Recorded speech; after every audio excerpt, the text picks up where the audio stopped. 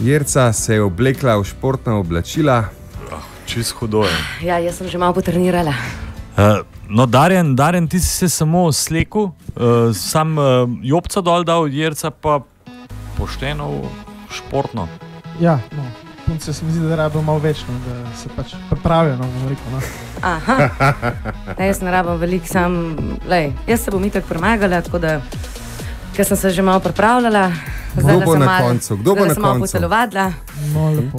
Jaz sem Kdo- vesel za to. Ej, a veš, jaz pa zate. Ta je bila pa moška, to Darjan. Prva igra se izvaja v studiu Radia Hit.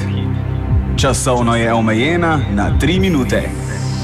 Igra se imenuje Sestavljanka. No, ki je jasen, Ja, sestavljala bova nekaj, ali kaj. Ja. Kdo bo prej, Ja, zgleda. ali kaj. Ne? Kdo bo prej sestavil kakšno slikco? Mogoče svojo midva sestavljala, jaz ne vem. Oh. Ne, Ja, Dober, dober darjem pri tem, da je punca na službeni poti, Ja. Ja. da ne posluša. Jerca ti praviš, morda bo sestavljala slikco. ja. Darjen, kaj ti misliš? Tja, vse je možno. Ne vem, tudi kakšen puzzle, no, se pravi, slica. Kaj drugega mi ne pride na pamet. Aha.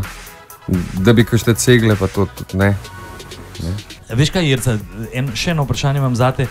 Se ti zdi, da si primerno oblečena za to igro? ja meni se zdi, da ste me malo na suh nategnili.